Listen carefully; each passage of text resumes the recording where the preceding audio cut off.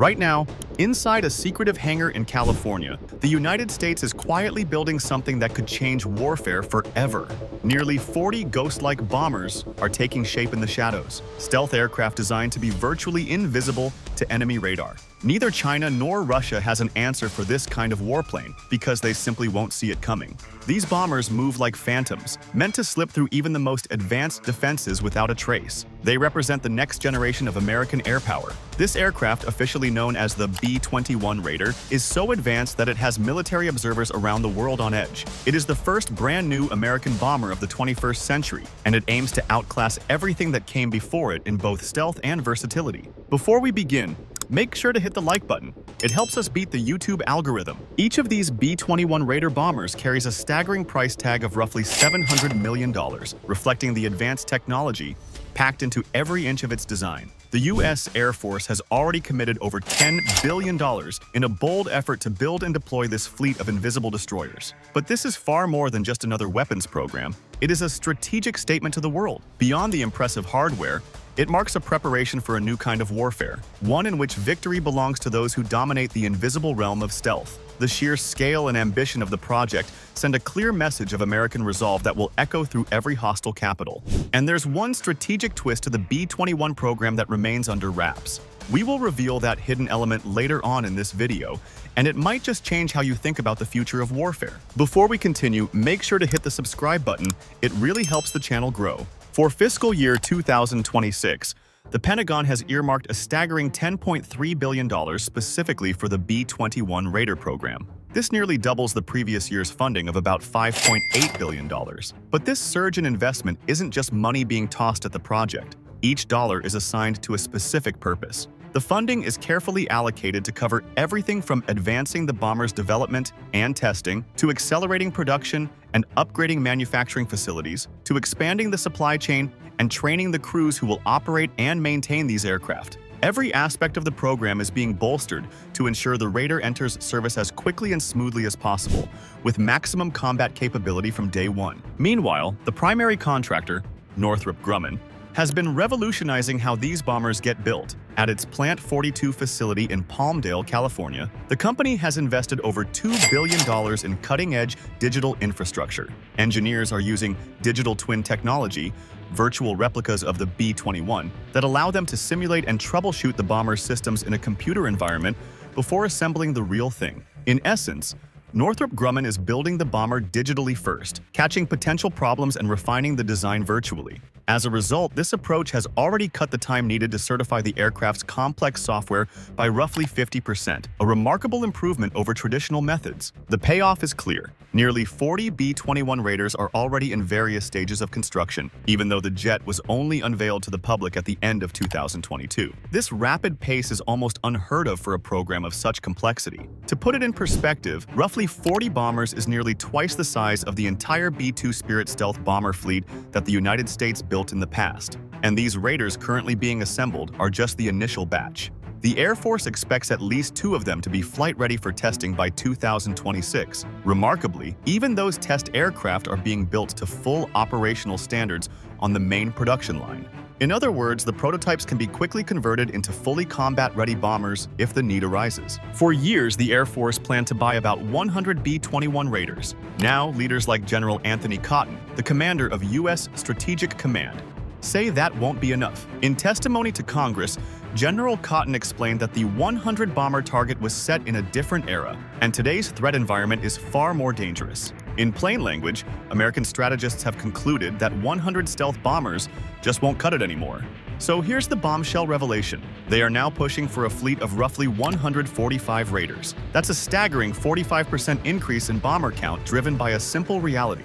The world has become a much more perilous place, and the United States needs additional firepower to match the growing threats. Today, the United States bomber force consists of only a few dozen B-1 Lancers, just 19 B-2 Spirit stealth bombers, and roughly 76 B-52 Stratofortresses. Most of these aircraft are decades old. The newest B-2 rolled off the assembly line in 1997, and this limited fleet was put to the test in a recent operation, in a secret mission codenamed Operation Midnight Hammer the Air Force struck Iran's nuclear sites and had to deploy nearly its entire stealth bomber fleet. Seven B-2 Spirits carried out the strikes, while others flew diversion routes over the Pacific to confuse enemy defenses. By the end of that night, almost every operational stealth bomber America had was either in action or on alert for that single mission. It was a stark demonstration of just how thin our stealth bomber margins are with the current force. Major General Jason Armagost has noted that what excites him most about the Raider isn't its advanced technology, but the fact that it will be built in large numbers. He calls it the ability to create a true campaign force of stealth bombers. In practical terms, that means having enough aircraft not just for a single strike, but for sustained operations over time. With a fleet of 145 Raiders, the United States could maintain a continuous bomber presence in multiple hotspots at once, for example, in both the Pacific and Europe simultaneously, while still keeping some jets in reserve for unexpected crises. That level of capability would be unprecedented and would fundamentally change how America can project power and deter adversaries. The B-21 Raider is not just an upgraded bomber, it represents a fundamental leap in capability that puts the United States years ahead of any rival. This aircraft's stealth features surpass even those of the legendary B-2 Spirit. From its sleek flying wing shape to its special radar-absorbing coatings, every aspect of the Raider has been engineered for near-total invisibility to enemy sensors. Defense experts are already calling it the most survivable bomber ever built, capable of slipping undetected through the toughest air defense networks in existence. As a point of comparison, America's adversaries, like China and Russia, are still struggling to field their own next-generation stealth bombers, which means the Raider will stand in a class by itself for years to come. And stealth is only the beginning. The B-21 is designed as a multi-mission platform that can do far more than just drop bombs on targets. It will act as an intelligence gatherer and reconnaissance platform, snooping on enemy communications and movements as it cruises high above hostile territory. It can also serve as a battle manager, essentially a flying command center coordinating other aircraft, drones, or even naval forces in a complex operation. On top of that, the Raider carries sophisticated electronic warfare systems, which means it can jam enemy radars and disrupt communications, effectively blinding an adversary's defenses before they even realize a bomber is there. Perhaps one of the Raider's most important design features is its open systems architecture. The bomber is built to be easily upgraded. New software, sensors, or even new weapons can be integrated as technology advances.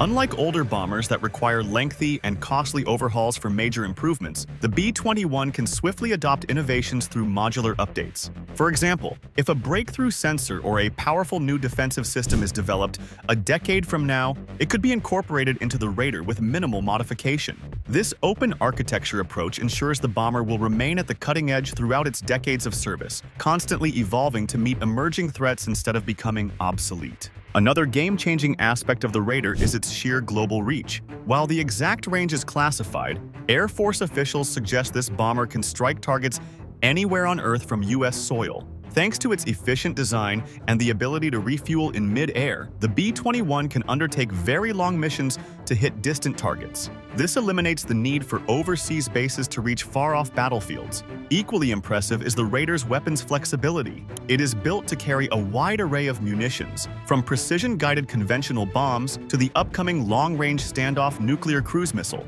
In short, the B-21 can deliver anything from a pinpoint conventional strike to a strategic nuclear strike. That dual capability makes it a cornerstone of both conventional military strategy and America's nuclear deterrent. Northrop Grumman has reinvented how a bomber is built for the B-21 program. The company took lessons from the B-2 Spirit and overhauled its production process to make the Raider's manufacturing faster and more efficient. Central to this effort is advanced digital engineering. Before any physical part is made, engineers create a virtual model of the aircraft, a digital twin of the Raider. They run simulations on this digital bomber to find and fix potential issues well before assembly begins on the factory floor. On the production line, technicians wear augmented reality headsets that overlay 3D blueprints onto the real parts, ensuring every piece goes exactly where it should. At the same time, artificial intelligence programs track the assembly progress and manage the flow of materials, making sure production stays on schedule. This high-tech approach does more than just speed up production. It also raises the quality of each bomber coming off the line. Every B-21 undergoes rigorous testing at multiple stages of its build. Critical systems are first validated in digital simulations and software labs, then tested again in real life once installed on the aircraft. Technicians perform detailed inspections and diagnostics throughout the assembly assembly process, catching any defects or misalignments early. By the time a Raider is fully assembled and ready for its first flight, it has been put through a gauntlet of quality checks. The result is a bomber that meets and often exceeds its design specifications from day one, reducing the need for rework or fixes after delivery. Building a high-tech aircraft like the Raider isn't just the work of one company. The B-21 supply chain spans hundreds of American firms across many states, making it a nationwide industrial effort. Major defense contractors like Pratt & Whitney, BAE Systems, and Spirit Aerosystems provide the engines, advanced electronics, and major airframe sections of the bomber. Meanwhile, countless smaller suppliers produce everything from specialized fasteners to cutting-edge circuit boards. This distributed production approach spreads economic benefits across the country, creating thousands of skilled jobs and spurring innovation in multiple regions. It also reduces risk. With so many contributors, no single bottleneck can derail the program. In the end, the B-21's production is strengthening not only America's defense capabilities, but, but also its broader manufacturing base. Even with the massive scope of the program, the B-21 project has managed to keep costs in check. In fact, as Northrop Grumman and the Air Force have refined the production process, the cost per bomber is trending lower than initial estimates. The first several batches of Raiders have benefited from efficiency gains and the learning curve of production. Officials report that by the time they reach the fifth production lot, the unit cost will have dropped by about 28% compared to the first lot. That kind of reduction is almost unheard of for a cutting-edge military aircraft. In practical terms, it means several billion dollars saved overall, funds that can be redirected to buy more bombers or invested in other defense priorities. Meanwhile, the pace of production is picking up. As the manufacturing line moves toward full-rate output, it's expected to eventually roll out around 10 new Raiders per year. Some defense analysts are already arguing that even this pace isn't enough, suggesting the Air Force should aim to double the production rate to 20 bombers per year to meet growing strategic demands. Whether or not it speeds up that much, the Raider program's ability to contain costs and efficiently build these aircraft stands out as a major success story, one that could serve as a model for future defense projects.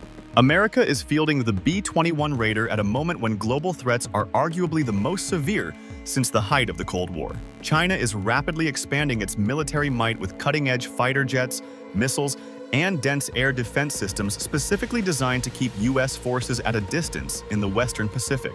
Russia, for its part, is modernizing its strategic arsenal and has shown a willingness to use force near NATO's borders. At the same time, regional adversaries like Iran and North Korea are advancing their missile programs and other disruptive weapons. In this tense environment, the Raider becomes a vital ace up America's sleeve. Its extreme stealth and global reach mean that no adversary can ever be confident that any of their assets are safe from U.S. air power. A hostile nation might surround a key command bunker or missile site with layers of surface-to-air missiles, but a B-21 flying unseen can still slip through and deliver a strike. This forces potential aggressors to think twice about their actions.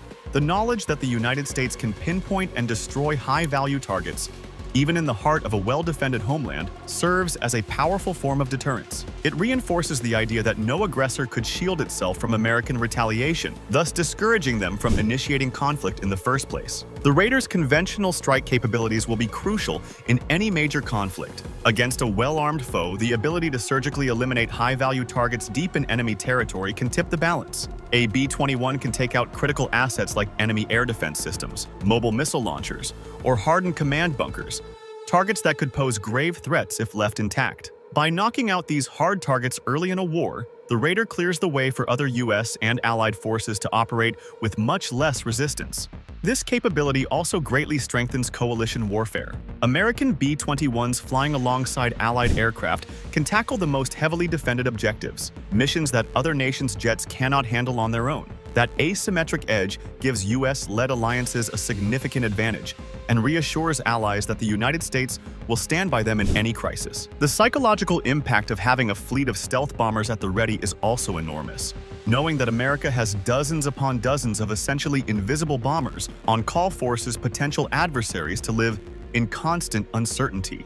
They would have to pour resources into spreading out and hiding their critical assets, never sure if or when a raider might show up overhead. In effect, they must try to defend everywhere, while the US can choose the time and place of its strike. This dynamic shifts the strategic initiative to America and keeps opposing forces off balance. Beyond its conventional role, The B-21 will also serve as a key pillar of America's nuclear deterrent. It will join the U.S. strategic triad of land, sea, and air-based nuclear forces as a stealthy airborne platform. The B-21 is designed to carry nuclear weapons, including the forthcoming long-range standoff cruise missile, giving the U.S. a a flexible way to deliver a nuclear strike if needed.